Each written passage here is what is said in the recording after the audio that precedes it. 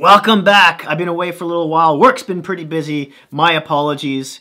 Um, let's jump into it. Let's talk about uh, the signings of Gurianov, Virtanen, and Kulik, uh, Kulikov um, with their respective teams. Starting with Gurianov with the Dallas Stars. Uh, he was coming off his entry-level uh, contract and re-upped for two years for $2.55 million. Mwah! Beautiful contract for Dallas. Um, now he's six foot three. For those of you who don't know him, 200 pounds, uh, 23 years old. Had a birthday in June. Uh, former first round draft pick, 12th overall in 2015. Uh, Russian, if I haven't said that already. Now, last season in 64 games, he had 20 goals, 29 points, plus five, and in the playoffs, he was one of their main offensive contributors in 27 games, nine goals, 17 points, zero in the plus minus category. Uh, can he do it again though? Right? Um, now he's he played 21 games for them last season and one game the season before that and didn't really do much. So uh, this is as well a prove it deal uh, for him too.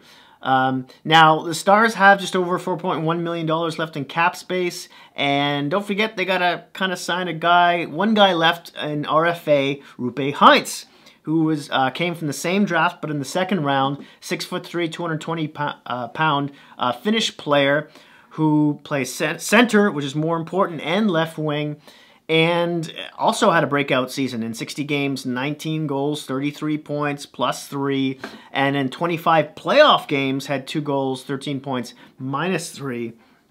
He got injured for the last um, couple games, I want to say, or so, um, versus Tampa. Uh, that depth really um, hurt the Stars uh, and and their chances. So I'm thinking maybe because he's a centerman, maybe he, he makes a bit more money, maybe closer to three million mark. Also a short term deal. We'll see how that turns out. Stars fans, I'd love to hear from you about that. Next up, let's talk about Jake Virtanen, um, who's re-upped with the Vancouver Canucks, who before Toffoli signed, surprisingly so, um, with Montreal, I think everyone thought um, at least there was a somewhat of a good chance the Canucks might re up with him after trading what they did for him. Now, you know, has given a little bit of money to Jake Virtanen, which is also a very good deal. He signed a two-year, $2.55 million. I want to say same as Gurianov. He's a year older, 24 years old, former first-round pick, 6th overall 2014, 6 foot 1, 226 pounds, right winger. Um, he's been a bit disappointed, disappointment up until sort of this season. He's kind of broken out, hasn't he? Um, he had 18 goals in 69 games, 36 points, minus four in 16 playoff games. Uh, he was okay, two goals, three points, plus two. But remember, he was pushed down to that fourth line for the most part, which I couldn't understand why he was wasn't at least playing on that third line more, which is what I would expect this season. Maybe he even moonlights in the top six because of the loss of Toffoli and the fact that the Canucks, well, don't really have any cap space. They're kind of a million and a half over it right now. So they still have time to finagle things. The good news is they don't have any UFAs or RFAs left. The bad news is they still need depth at the forward and defense um, part of things.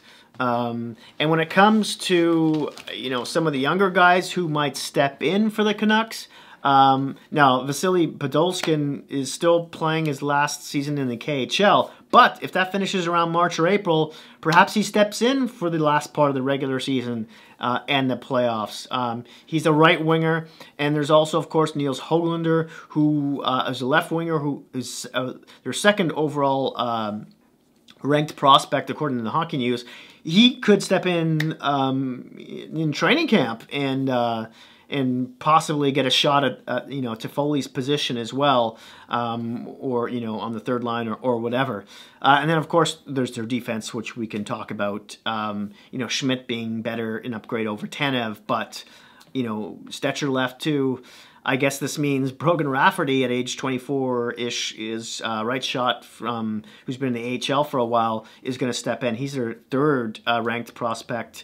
Um, right now, and of course Olli Juolevi, who will also probably get an opportunity at training camp, um, who's a left shot defenseman. So we'll see how that goes. Lastly, let's talk about Dmitry Kulikov. Speaking of defensemen, um, now he's a former uh, Jets D-man, um, who is playing on the second pairing, uh, left shot, 29 years old, has gonna have is gonna be 30 uh, on October 29th. He's Russian, six foot one, 204 pounds.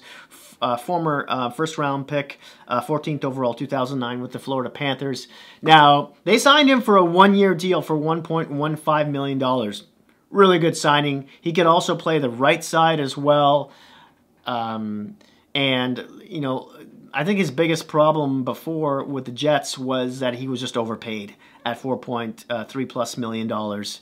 Um, that was the big issue there. But for this amount of money, I would think even closer to 2.5 or even 3 million dollars would have been fair for him. Um, he doesn't put up much points. Obviously, he's more of a defensive guy, but in 51 games last season for the Jets, had two goals, 10 points, minus four in four playoff games. He had two assists, not bad, right? And he was a minus one. So that's good for Jersey, um, who could use that depth on their defense right now um, on either side, really.